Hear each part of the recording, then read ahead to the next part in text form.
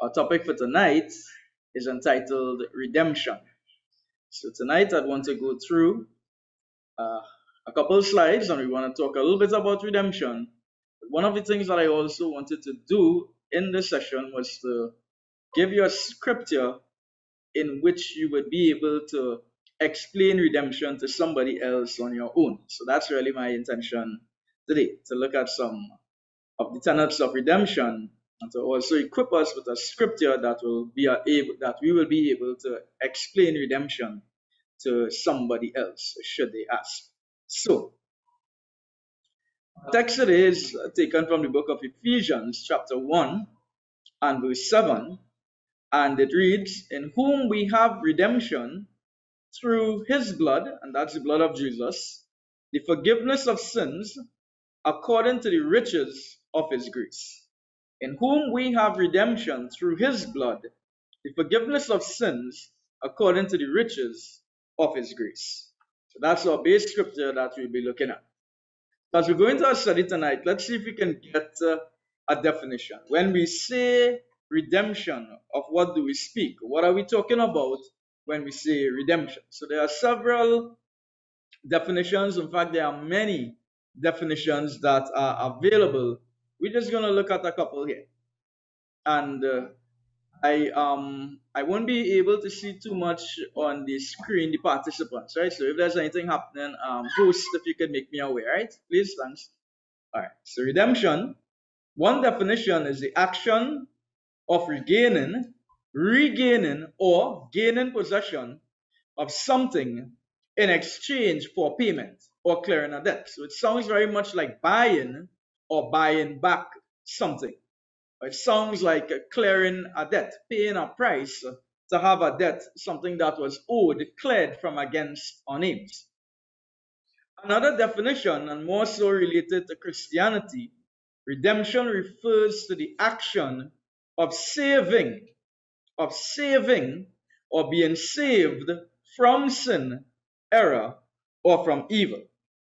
And then there are two other shorter phrases that are very, very useful for a study. And uh, the first of those two will be redemption, meaning released by payment. Released by payment. So that gives us the idea of something being withheld or something being held in captivity, but uh, through payment it is being released.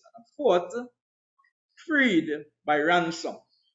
Again, the idea of captivity or something being withheld, but a ransom, a demand was made, a demand which was paid, and as a result of uh, that demand or ransom being paid, whoever or whatever it was was able to be freed. So those are some of the working definitions that uh, we can look at the action of regaining or gaining possession of something in exchange for payment or clearing a debt, the action of saving or being saved from sin, error, and evil, released by payment, or freed by ransom.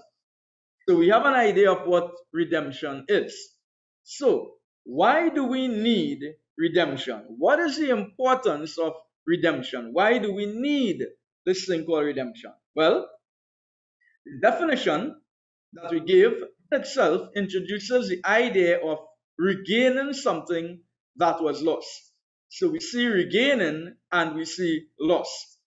We see clearing a debt that was incurred and being released from captivity. So we see some opposites that are working here, being released from captivity, clearing a debt that is owed. We are clearing and regaining something that was lost. So it almost gives the idea of a reversal of something that was happening. This is speaking here concerning humanity. When we talk about redemption, we are not talking about redeeming a plant, we're not talking about redeeming a car or, or some precious jewel or so. We are speaking about something far more important than that. We are speaking about humanity. So if we want to regain humanity, then humanity had to be lost. So humanity became lost when? In the Garden of Eden. Humanity became lost and with that, the rights and the ownership over humanity was handed over to the devil. Now, God created us. On day six, God made man. God made, he, he formed Adam out of the dust of uh, the earth. He breathed life into him. He put Adam to sleep. He took out a rib. He made Eve.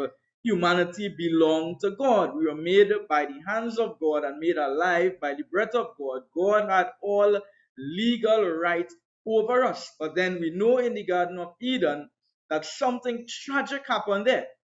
The, the devil in the, in the form of the serpent would have tempted Eve and uh, Adam as well. And so in an act of deliberate disobedience, which was committed in the Garden of Eden, the rights and the ownership over humanity was transferred. It was handed over from being owned and from God having all rights over us. It was handed over to the devil because uh, of that act of disobedience, that going against the word of God. So humanity became lost and the rights were handed over to the devil. When Adam and Eve, when they gave in to the cunningness of the serpent, they traded perfect relationship with God. Remember, they had such a relationship that God will come down in the cool of the evening and would talk and commune. They traded in that perfect relationship with God. And that was in a perfect place. They traded that in. And in that place, they had dominion over everything, every living thing. But you know what? When they gave in to the guile of the serpent, they traded that in for something that was far inferior. They traded it in for a life of sin, a life of shame, a life of suffering, and a life of separation from God. And the real tragedy of that is that it would not only be for them, they would not be the only one having to face that consequence, but all who will be born of man and woman. So the whole of humanity, the all of mankind was plunged into sinful living. They were plunged, they were sold out in the Garden of Eden. And that's why we need redemption. And uh, however, in Genesis 3 and 15, that's the chapter right after, in which God uh, comes into the scene again and he begins to, to lay out consequences to the man and to the woman and to the serpent. And here God pointed towards a future hope. So it was lost. Humanity was lost and sold out at that point. But God pointed towards a future hope. To the serpent, God said, I will put enmity between you and the woman, and between your offspring and her offspring. He shall bruise your head, and you shall bruise his, his heel. In other words, God was not going to take it just like that. God was going to do something about uh, what had happened. Man had fallen. God did not create man to be fallen. And God was saying he was going to do something to turn this around. And in that whatever he was going to do, that plan that he had, it will result or there will be a clear enmity between, between you and the woman, between your offspring and her offspring, and he shall bruise your head and you shall bruise his heel. And in that scripture, it spoke of the finished work of Jesus Christ on the cross of Calvary. So, humanity was lost, but redemption was going to bring humanity back to the state that God had designed. So it brings us to an important question. We are talking about redemption. So who need who needs redemption? Very simply, everyone is in need of redemption. I want us to understand that our natural condition being born of a sinful lineage or lineage was characterized by guilt and transgressions of the holy standards of God. All men who were born, all women who were born, children came out of the loins of Adam. And Adam himself had fallen. All of us are born with a sinful Adamic nature. That nature is marked by guilt Guilt because we are not innocent. Guilt because we do the wrong thing. We are prone to the wrong thing. Transgressions because we are unable to keep up the holy standards of God. We are unable to do the right thing. The apostles say, you know what? The things that I know I should do, it's difficult for me to do. The things that I should stay away from, I find myself doing it. Almost as if there is a war, and it's the same for all of us. So we are unable to keep up the holy standards of God. And if we continue in this way, then we are doomed to destruction, and that destruction will be eternal. It will be irreversible. A scripture for that is uh, Romans 3:23, which tells us, "For all have sinned and come short of the glory of God." So we all need redemption. Christ's redemption has freed, rescued, and delivered us, delivered us from this guilt, from that position that we are in. We are freed, we are rescued, and we are delivered. Our scripture, Romans 3 and 24, it says, being justified, and we spoke about justification freely by his grace through the redemption, the buying back that is in Christ Jesus. So, Christ's redemption has freed, rescued, and delivered us from this guilt. All right? And in this, what we just said here, Bridget, I, I hope that we could realize the love of God towards us. How much God, God loves us as mankind, as humanity. Because there were celestial beings that fell. Lucifer, we know, fell. And one third of the angels fell with him. Those were celestial beings. Those were made and created to be in the presence of God. In fact, they were in the very presence of God in the heavenlies. They fell. But we will notice that through scripture that there was no plan of redemption ever made for them. In fact, the scripture says that they are banished. They are banished until judgment. They, they will not come out of their fallen state. But you know what? Man also fell man also fell, and when man fell, even before the foundation of the world, the scripture tells us that there was a plan of redemption that was already established, already declared in the heavenlies. All right, so let's look a little bit of some Old Testament types of redemption, just to show that it was there in the Old Testament as well. Well, there are several, several examples. Let's just talk about a couple. One might be Noah. The story of Noah with Noah, and we know, of course, we know Noah and the ark. So what happened in Noah and the ark? Just in a nutshell, God was warning of a coming judgment that was going to be a worldwide punishment because God had, had reached the conclusion where God said, listen, heart of man is evil Evil is ruling continually in the heart of man, and God was going to wipe out all of man. Those who repent of their sins and believe in the warnings of Noah, they were welcome to go aboard to board the ark before the flood. However, after 120 years of preaching, the only people who stepped into that ark were Noah and his family. Eight souls we know were saved. While there was room for many, many, many more people, only eight were saved. Redemption was offered to all who were willing to repent and believe. However, only few accepted the offer. A Second example might be Abraham and Isaac from Genesis 22. And we know that story where God had asked Abraham to sacrifice his only son, Isaac. Through the whole process of going up to the mountains and all of that, Isaac was obedient and Abraham was hopeful. Abraham fully expected when he left there in obedience to God, he was going to do what God had told him to do. He had fully expected to sacrifice his child on the altar. But he was also confident that God could do something about it. God could raise back up his child to life if the need be. But he was committed to doing what God had said. All right?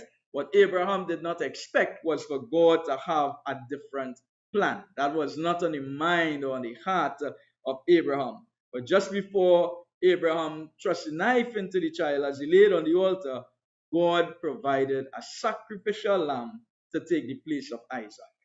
That there is an example of redemption. God redeemed Isaac with that ram. And it is an example, it's a type, it's a shadow of how God redeems us through the, the sacrifice of his son. So a third example could be the story of Ruth. And uh, I won't go into that because I think we are familiar with that story, how Boaz would have been the kinsman redeemer and he would have rescued both Ruth and Naomi out of that situation. All right, so like I told you at the beginning, what I wanted to do as well, in addition to giving you some information, I wanted to present a scripture that we could use. Now, this is our base scripture, and this is a scripture that we want to look at. This scripture is loaded with a lot of information concerning redemption. And if we could go through it, we will be able to give an explanation of it to somebody else. We'll have a much better understanding of what uh, redemption is about. So I'm reading the scripture. It says, In whom we have redemption through his blood, the forgiveness of sins according to the riches of his grace. In whom we have redemption through his blood, the forgiveness of sins according to the riches of his grace. So, so what we want to do is to look at the scripture and we want to ask and answer several questions about it as we explore this text. So here are some of the questions we're going to ask. The first one is who is this we referring to? It says in whom we have redemption through his blood the forgiveness of sins. So we asking the question, who is this we referring to in the scripture? And to answer that, we go into the to the verses just above it, verses 3 down to 7. 7 is the verse that we are on. We're taking it from 3. Listen to how it reads. It says, Blessed be the God and Father of our Lord Jesus Christ, who hath blessed us with all spiritual blessings in heavenly places in Christ according as he had chosen us in him before the foundation of the world, that we should be holy and without blame before him in love, having predestinated us unto the adoption of children by Jesus Christ to himself, according to the good pleasure of his will, to the praise of the glory of his grace, wherein he hath made us accepted in the beloved. And our base verse, in whom we have redemption through his blood the forgiveness of sins according to the riches of grace. So the we that he is speaking about is found in the previous verses. And I've highlighted, I've bold, sorry, I've put in bold some key phrases here. It says, and it's going to refer to it as us in the higher verses, blessed us. He had chosen us, having predestinated us unto the adoption of children in verse 6 had made us accepted in the beloved. And what verse 7 is saying, the we who have redemption, this is the category of people.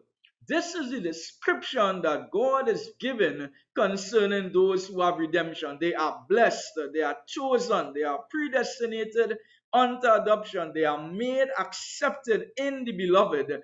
This is a group of people that have redemption. And right there, I think we should give God a high note of praise because that description is a description of us. And I want you to know that all of these things that we are seeing here, God did that for us while we were yet sinners. We didn't have a thought concerning Christ. We were not good in ourselves. We had nothing good or lovely. We had no good intentions. Our hearts were wicked and evil. But this is the description that God gave of us. And He did it for those who would have redemption. He did it while we were yet sinners. So the we is talking about this group of people. All right, it's talking about this group of people. I want to go a little bit further than that. I want to say that this we refers to Christian people. It refers to Christian people. This verse does not refer to the unsaved. The unsaved do not fit this description. The unsaved do not have redemption. This refers to Christian people who have responded to the gift of grace and who have received Jesus Christ as Lord and Savior. So if you have responded to the free gift of grace, if you have received Jesus Christ as your Lord and Savior, then you are part of this group. You are blessed, you are chosen, you are predestinated unto the adoption of children. You are made accepted in the beloved, and you have redemption.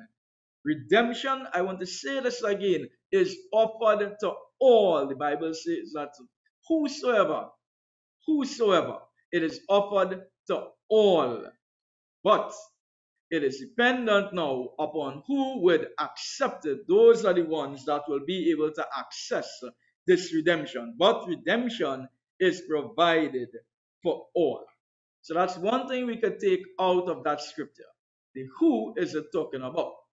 Second thing we could look at from that scripture is how does redemption work? In whom we have in whom we have redemption of verse 7 through his blood the forgiveness of sins. So the second question is how does redemption work? And we are given three things that we could look at. Redemption works in Christ. In Christ. We have to be in Christ, in whom we have redemption, in whom we have in Christ. So redemption works in Christ. You cannot be out of Christ and have redemption.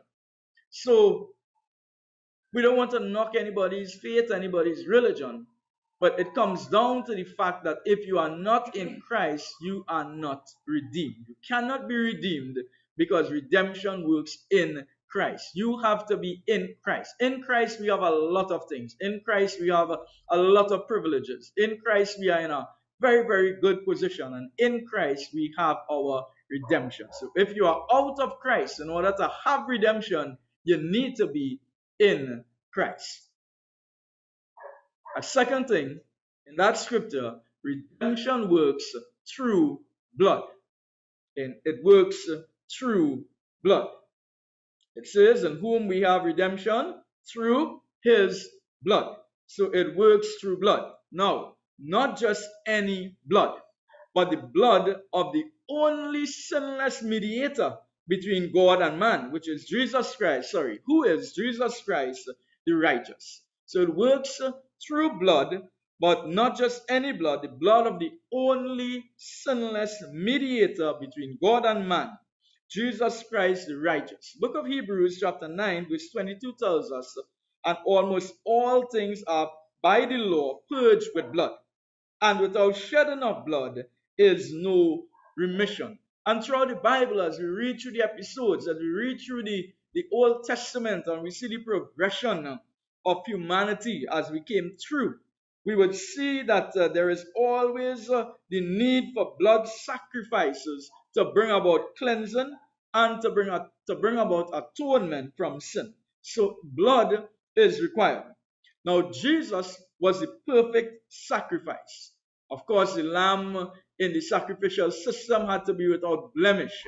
And Jesus Christ was without blemish. He is the perfect sacrifice. He is the perfect Lamb of God. So his blood was required to be shed for redemption to work. Additionally, the old covenant, the covenant of the law, was going to be done away with. And the new covenant in Christ was being instituted. A New Testament required the death of the testator for the, for the covenant to be sealed.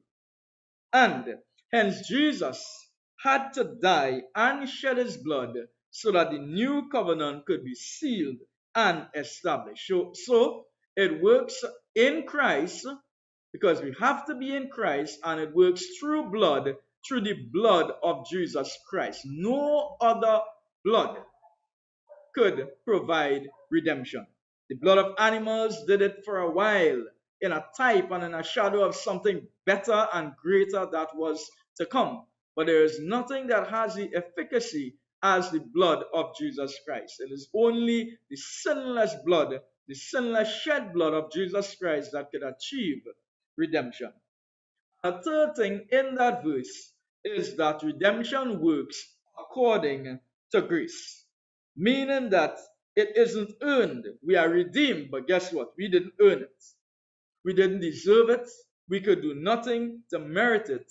It is a grace of God. It is a favor of God extended towards humanity. So when we look at this here, this is all about God. In Christ through his blood and according to the grace. Christ did all of the work here for our benefit. And we should give God thanks uh, for redemption. Redemption, that's how redemption works. So let's ask a third question. From what are we redeemed? And this is an important part of what we're saying here today. From what are we redeemed? If we are redeemed, then from what are we redeemed from? And uh, three things we want to talk about here. We are redeemed according to our verse. We have the forgiveness of trespasses or guilt from sin. So we are redeemed from guilt, the guilt from sin. Because none of us can say that we are without sin. We are born of a sinful nature, as we have already said. We are born of an Adamic nature. Sinful we are by nature. And our sin separates us from God. And because of this, we need redemption. The redemption provides forgiveness. And I want us to note that this redemption, this forgiveness of sin, happens immediately as the believer receives Jesus Christ as Lord and Savior, or forgive our sins are forgiven immediately when we receive Jesus Christ as Lord and Savior. Now, forgiveness of trespasses. I want to share briefly, I want to read two scriptures, two sets of scriptures that's going to tell us or show us what is the real problem, the real danger with transgressions. And I hope that we will understand this. I'm reading three verses from Ephesians chapter 2. And it says from verses 1 to 3, it says, And you had he quickened, speaking about believers, and you had he quickened who were dead in trespasses and sins, wherein in times past you walked according to the course of this world, according to the prince of the power of the air, the spirit that now worketh in the children of disobedience. That's us before we were saved.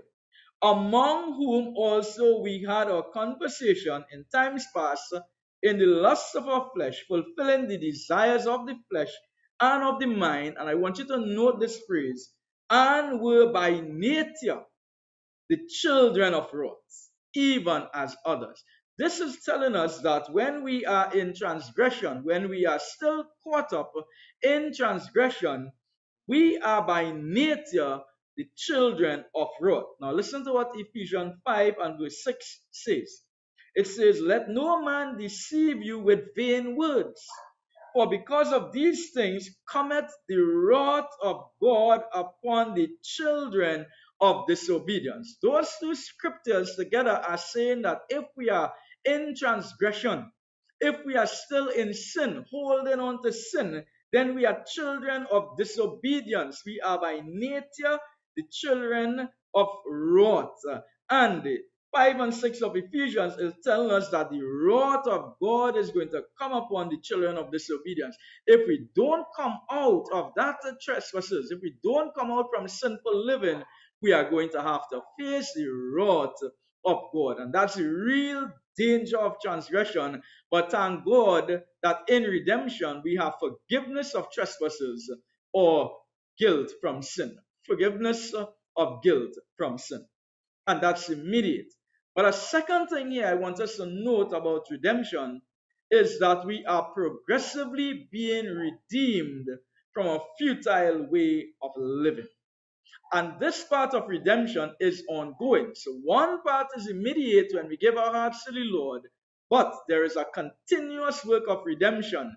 We are being redeemed from a futile way of living. I'm going to share some scriptures uh, to go through that with. And uh, look at what the King James Version of 1 Peter 1.18 says. It says, For as much as you know that you were not redeemed with corruptible things, that's important, price of our redemption was the blood of Jesus Christ. We are not redeemed with corruptible things as silver and gold from your vain conversation received by tradition from your fathers. Now listen to that in the NIV. It says, For you know that it was not with perishable things such as gold or silver that you were redeemed from the empty way of life handed down to you from your ancestors. So, what we would have inherited from our ancestors would have been an empty way of life, meaning that we would have been living a life of emptiness, a life that brought no pleasure, a life that did not satisfy God. They were taught and they were schooled and they were trained in a particular way that we have received, but all of that amounted to vanity, vain conversation, and emptiness. Uh, and so now, after we have received forgiveness of sins, we are being worked upon. Redemption is at work in us. As our bishop would say, we are work in progress. We are progressively being redeemed from that futility, from that idle, from that non productive way of living.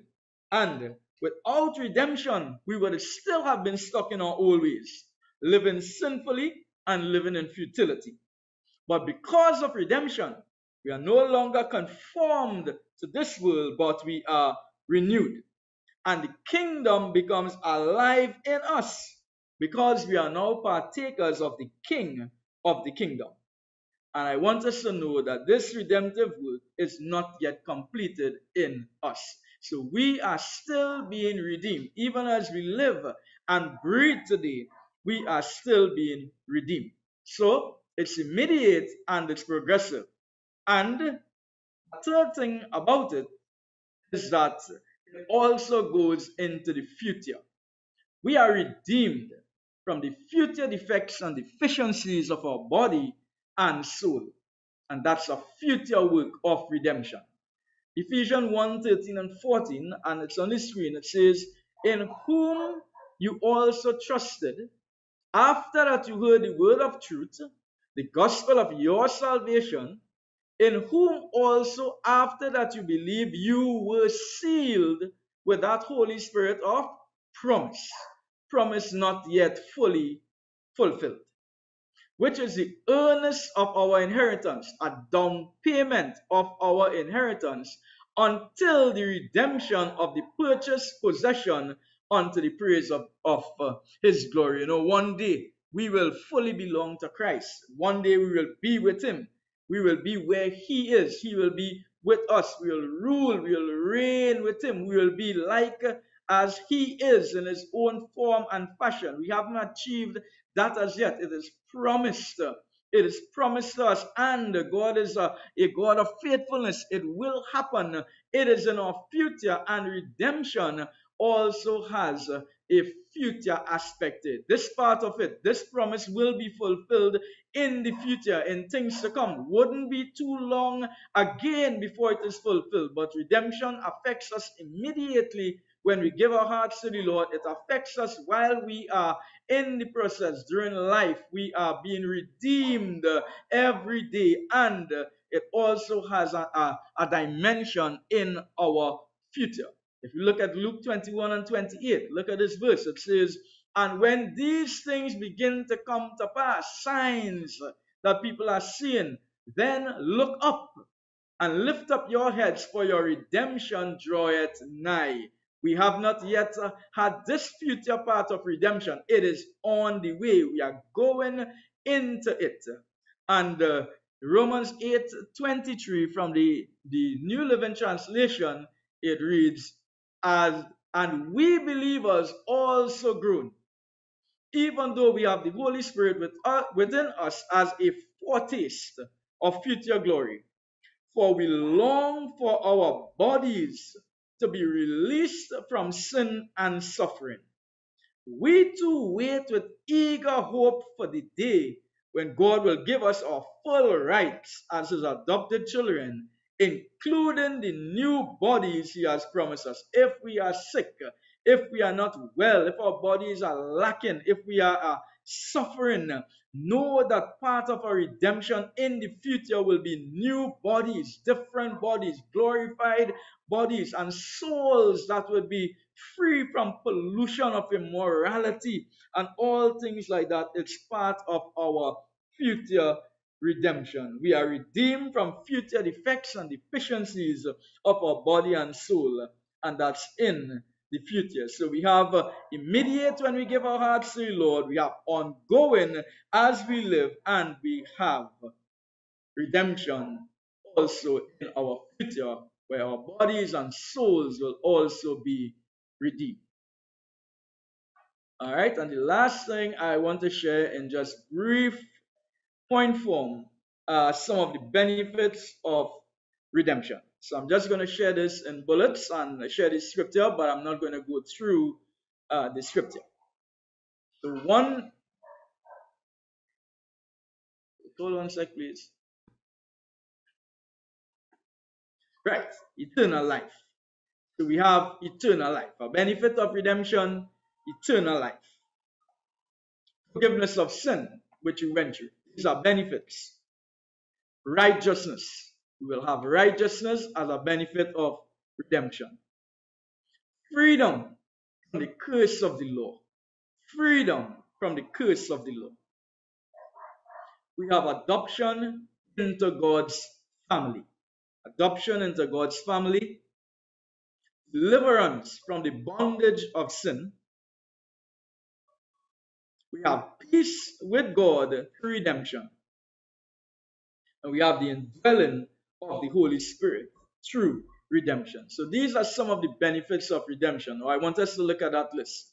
Eternal life, forgiveness of sins, righteousness, freedom from the curse of the law, adoption into God's family, deliverance from the bondage of sin, peace with God, and the indwelling of the Holy Spirit. And I want to ask you a question for you to answer yourself. Do you think we could really live without these benefits? And if so, we should see how much we needed redemption. Because if we did not have redemption, we could not have anything from on that list. But because of redemption in Christ and through his blood, by grace, this is what we have as the benefits of redemption. So we would have been nothing without redemption. We thank God for redemption. We thank God that redemption was not an afterthought.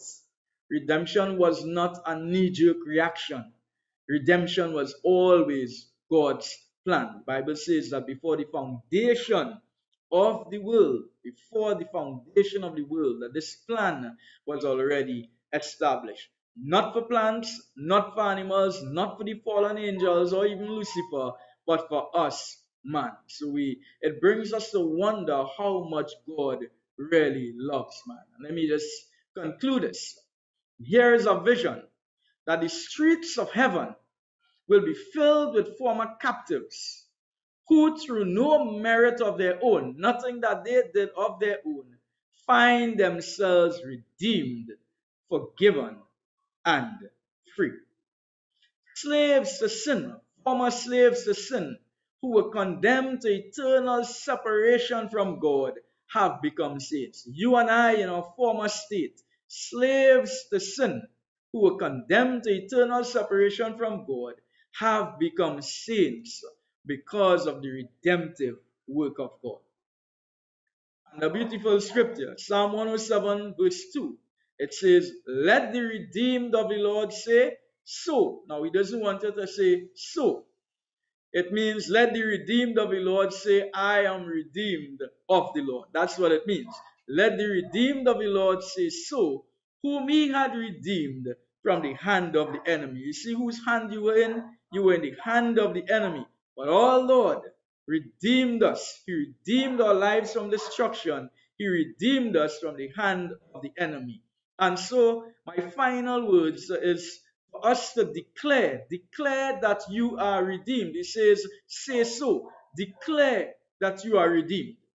Understand what it means to be redeemed because there was a process and there was a price, there was a plan, and we fit into the beneficiaries of that plan. But it cost God a lot to redeem us, yet He did it willingly and tell others. Let the redeemed of the Lord say so. Tell others about your redemption, and more importantly, tell others about your gracious Redeemer, the Lord, our Lord and Savior, Jesus Christ, who hath redeemed us from the hands of the enemy. So that brings me to the end of uh, this presentation there. So let me, I trust that you have been blessed and ministered to, that you have understood something about redemption.